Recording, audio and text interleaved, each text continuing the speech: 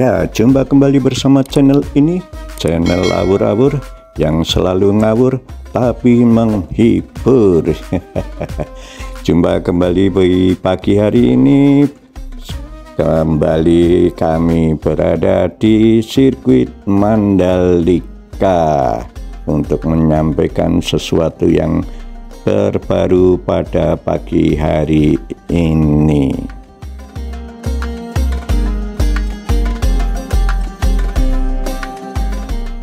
Ya, hari ini tentu saja masih dilanjutkan dengan bersih-bersih lintasan supaya tetap terjaga kebersihannya.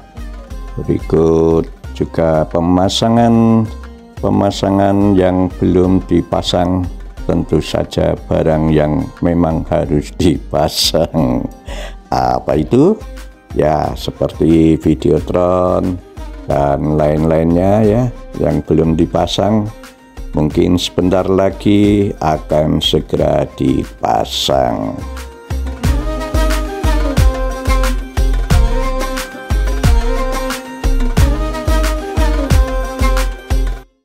Ya, tinggal empat hari lagi.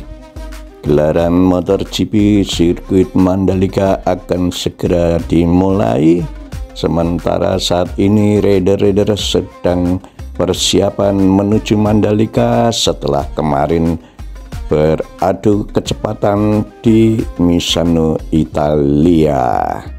Dan jangan lupa hari Rabu tetap akan dilaksanakan parade rider MotoGP serta Rider-rider yang lainnya khususnya untuk yang rider lokal Indonesia juga diikut sertakan.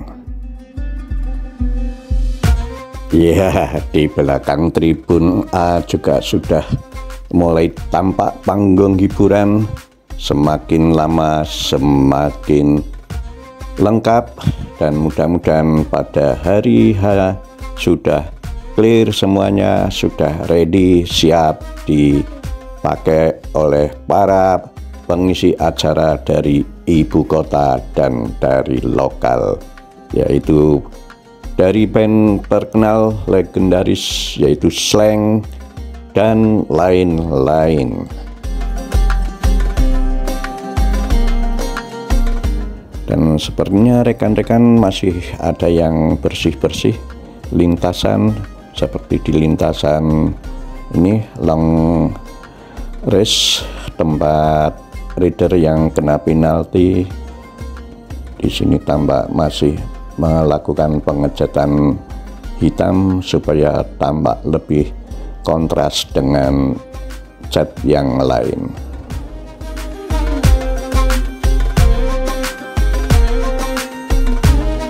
Dan di bukit ini biasanya teman-teman komunitas drone Mandalika menerbangkan drone-nya supaya mendapatkan sinyal frekuensi yang lebih bagus sehingga bisa terbang rendah.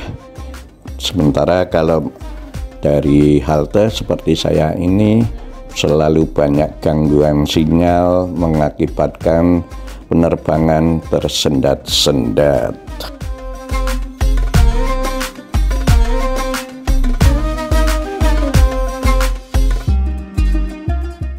Ya, dan ini adalah parkiran di sisi timur sirkuit ya.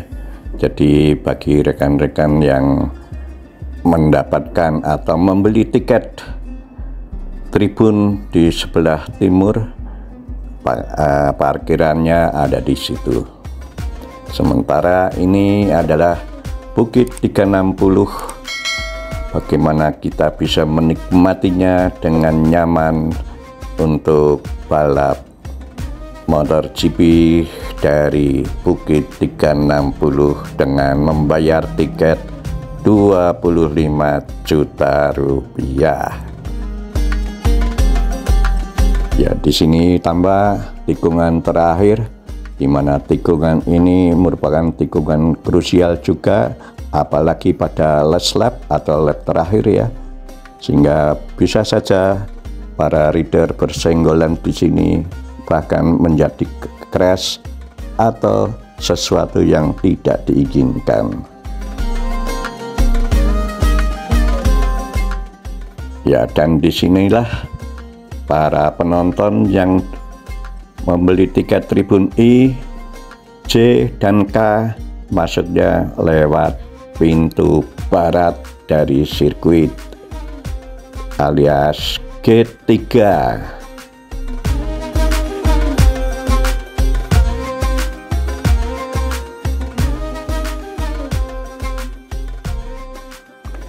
Rupanya rekan kita masih rajin membersihkan lintasan agar aspalnya tetap terjamin bersih, tidak kotor, dan tentu saja akan menyenangkan reader-reader yang akan berlaga di sini.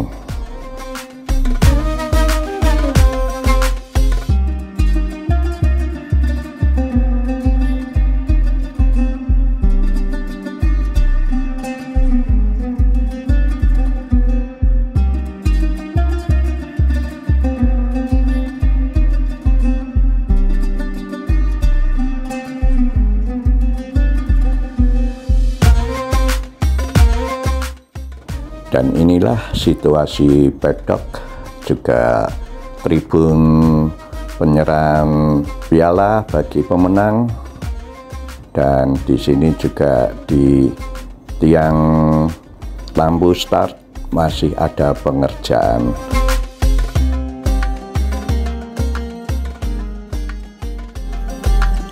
Ini adalah pintu utama Nah, kalau turun itu jalan turun itu menuju tribun A dan tribun B.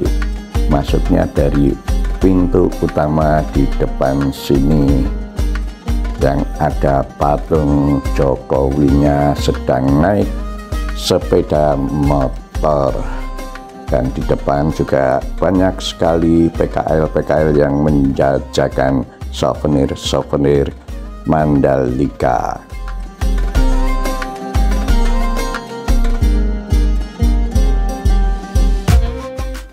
Rumput kali ini menurut saya tidak segersang tahun lalu ya karena masih tampak hijau. Kemungkinan ini juga salah satunya bukan karena El Nino ya. Kalau tahun lalu kan El Nino. Nah kalau tahun ini nggak ada El Nino sedangkan perawatannya selalu dijaga dengan menyiram pagi dan sore secara rutin.